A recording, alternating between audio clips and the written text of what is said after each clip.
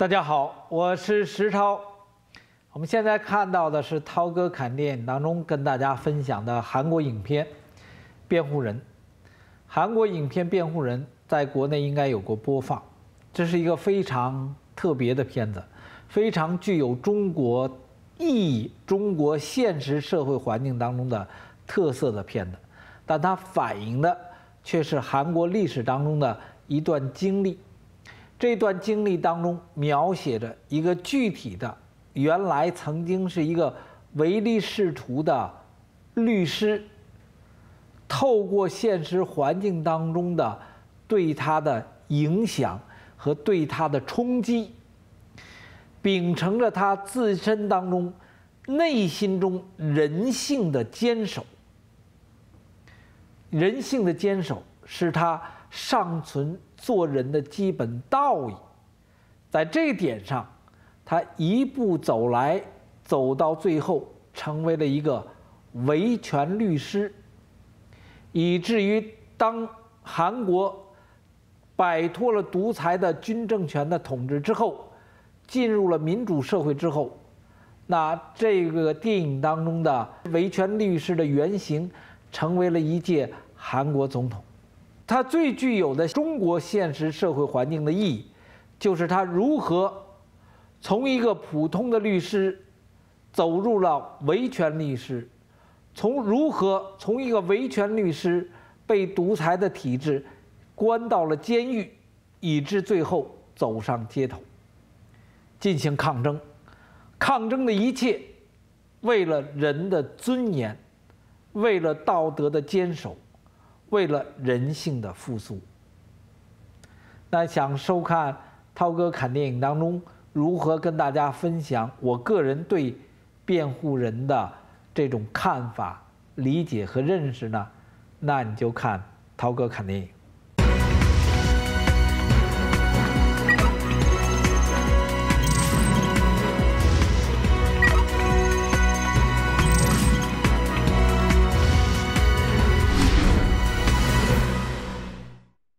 大家好，欢迎大家来到今日点击节目。我是石涛。我记得在今年夏天，应特别是天津大爆炸之后和这个呃大阅兵之后，我们一再强调呢，其实应对了一个时辰，就像我跟大家分享的似的，我说时间是个神，这是自己师傅教的，到什么时候办什么事儿，过了那个村儿没有这个店儿，过了这个时辰就完了。这是其实，在民间大家都认可的事情。在九月份的时候，我们曾经讲强调过，那如果在九月份，咱说说句心里话，如果在九月份，在习近平出访美国期间，我们曾经说过，那往往习近平在外访的时候，特别是大的事情的时候，外访大的事情的时候，国内出现的事情，被砍杀的几个人，乃至于包括这个。那年夏天，呃，上海的飞机乱飞，其实都在习近平外访期间，都在习近平外访期间。那在九月底，习近平外访前，也就是正好应对了八月十五那天，应对了二零一四到二零一五的雪月那天，最后一次雪月那天。那其实我后来能够知道的，那如果那个时候真的让蛤蟆出了锅。那个时候让蛤蟆出了锅，今天就不会有这么麻烦。今天有什么麻烦？军改我们看到的没有声音，但我在节目曾经说过，我说现在他遇到了副部级、正局级、副局级、正处级，最掌控实权的，而数量巨大的这批官员的一种心理的不服气，因为。在反腐中都触及到这些人的利益，因为在往上打没别人了，除了江泽民就是曾庆红，就他们俩。再打别的都没劲了，那你不把他们摘了，我们当时讲过，断了这些人的后路，断了这些人的想法，因为这些人他为什么要保着党？党是个屁，他们也懂，但是呢。有党在，就能保住他们今天的官位和贪污的钱。你不能把所有的官都杀了，这就是根儿，对不对？金永三病逝，那他最厉害的是把两个总统和自己的儿子都送到了监狱。所以在现实环境中，我们看到了非常纷乱的背景。但是这个纷乱的背景是一种表象，是在一个层面上，而更深的层面呢，似乎还没出事儿，还没出手呢，还在等着呢。你看王岐山到现在他也不露面。BBC 有篇报道，文章题目这么说的：郭广昌现身公司年会，复兴国际股价下跌。那郭广昌这个新闻呢，我们在前两天呢，呃，上个周末的时候呢，报了很多了。这因为他的身份，因为他的整个在国内的影响，而他整个一切都是来自于上海，所以才出现这种情况。结果不成想呢，结果人家呃露面了，对吧？你这是事实啊，人家露面。文章介绍，上周失联的复兴集团董事长郭广昌，星期一。出现在年会上，在上星期五，郭广昌失联之后呢，复兴名下的复兴国际和医药相继发布公告，暂停了股票。但是在星期一复盘的时候，中午复兴国际和复兴医药股票下跌百分之十，到收盘的时候，一个是下跌了百分之九点四，一个下跌了百分之十二。老板露面了，但股票跌停下跌。那这是真正投资者对他失踪本身的一种明确的表达。那他出现了，应该没事儿吧？但是投资者心里不放心。那也就是说，从普众的心理的角度来讲，都认为郭广昌失踪再次出现在年会，人们并不认为这事儿了了。作为投资者来讲，并不认为这件事情了了。那也就变成了今天在反腐过程中，在有关调查的过程中，能够让郭广昌骤然失踪，然后让郭广昌再出现在年会背后，这个势力本身在做什么，没人清楚。可是呢，作为投资者的概念来讲，说这是件麻烦事儿，他一定有麻烦，才会出现这种概念，对不对？有人做过比较，说露面并不代表郭广昌没事情。当年姚刚的时候也这么曾经露面过，后来最终死了。所以换个角度上说，今天按照这个罗宇说，习近平对江泽民之间的关系，让江泽民露面，江泽民不敢不露面；让江泽民不露面，江泽民就露面不了。这是罗宇当初形容。呃，在这个大阅兵时的状况，那在我的眼睛里，就是他可能可惜的，就是他为什么不了断了？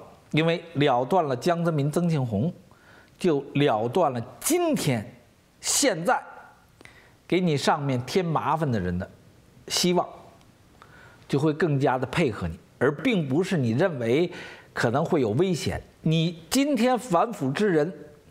上至习近平，下至这个中纪委的所这些人，我跟你讲，人人都在生死线上，你没退路了，已经没戏了。也就是说，你今天走下去，这仗打也得打，不打也得打，没别的路了。你没别的路，如果顺天意的话，你为什么不那么做呢 lost culture has returned.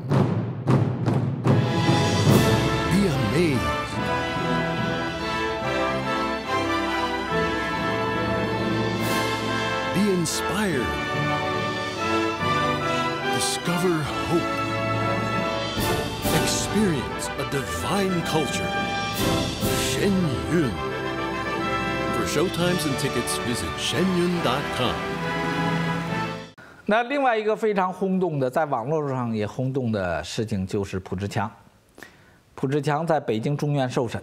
那结果择日宣判。那我昨天看的消息有说是判两年，缓期三年。那看来这事儿就就就不是真的。所以说什么的都有。当然现场比较混乱，因为因为朴志强被审的这件事情突然在这个时候出现呢，就显得很诡异。我只能说显得很诡异。可能人家有一一系列的安排哈。那与此同时，在有关司法的这个概念当中，高玉我们知道他最后。出来了，对不对？他就是监外执行，而另外一个郭飞雄原来是四年，结果被人法官加了两年，那导致包括高志胜都为此发出了声音，因为郭飞雄跟高志胜关系非常好，所以我说的我的说法就是你看到很混乱、很混乱的场面。中国维权律师蒲志强在北京受审，那择期宣判。代表律师尚宝军对 BBC 的记者讲，蒲志强的夫人获准进入庭审，而在庭上呢，陪这个旁听的没有多少人，但是呢，呃，律师只认识朴志强夫人一个人，其他人都不认识。不少外国记者到了北京二中院外采访，那十多名外交官也试图进入里面去旁听，结果没有没有成行。驻华大使馆呢发表了一篇声明，说美国对这件事情以含糊不清的指控感到担忧。那像这样的律师和公民社会的领袖不应该被持续打压，而应该获准为建设繁荣与稳定的中国做出贡献。那这就是我们我们现在看到的大概的故事，所以场面当时是有一些冲突的。包括美国驻华大使的一个政治部的副主任也到现场，而且当时发表了声明。所以，因为这件事情没有结果，而且过程中就会出现我们这我说的，这是一种非常混乱的过程。呃，这种过程，呃，在我看来是今天主政的人当断不断，展现出后患的表现。那另外一个很奇怪的事情。我只能用奇怪这词儿了，因为原来没听说过。BBC 这么报的：北京高院裁定古开来、刘志军减为无期徒刑。他没有太多的解释，他讲说高院网站披露，最高法院在十二月十一号作出裁定，刘志军和古开来在死缓两年期间没有故意犯罪，因此减刑为无期徒刑。他说，令人难以置信的是。有关减刑建议书的原稿中却出现了一个错别字，建议将罪犯博古开来死刑缓期两年执行的刑罚减为无期徒刑。两年执行的这个词，在他的原稿中写成了儿年执行。那这种事情，法院的裁定书来自于最高法院，那是非常严肃的。因为你是对一个人的直接的判定，对不对？所以 BBC 讲说非常罕见的，竟然出现错别字。